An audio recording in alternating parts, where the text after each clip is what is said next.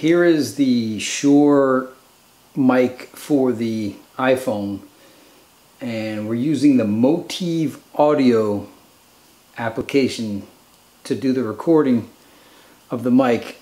So the app kind of looks like that. So you can see how far away I am. So here goes a recording. All right, hi. I'm about a foot and a half away from this microphone. I'm talking into it.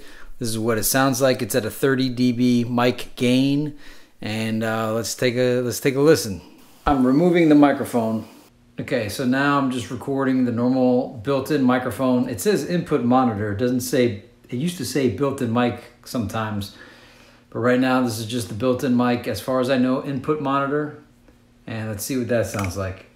I happen to find this to be somewhat inconvenient if if you're using it off your main iPhone. The reason why is because I usually have a case. I usually have a case on my mic, my iPhone, and this won't fit into the port if you have the case on. So I have to remove the case to put the mic in. And then I also have to have it on me at all times. So you may want this Shure mic. All right, I'm just trying to record into this right now to see if it's picking up that mic or if it's picking up the ambient uh, onboard mic. And to do a comparison, this is without the mic plugged in.